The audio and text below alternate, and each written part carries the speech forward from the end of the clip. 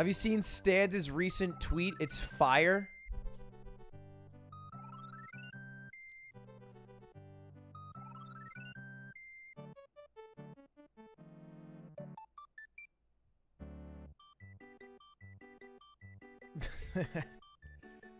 Did he make it on stream?